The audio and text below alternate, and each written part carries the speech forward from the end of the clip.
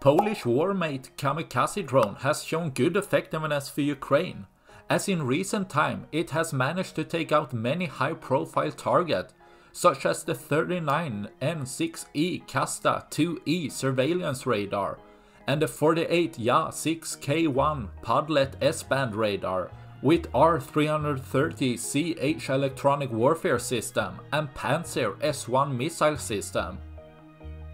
Causing massive losses in Russia's surveillance and electronic warfare capability, leaving them more vulnerable for the future drone attacks and taking out millions of dollars worth of equipment with the help of some cheaper drones. That's all I had for this video. Please like and subscribe for more. Thanks for watching. Bye.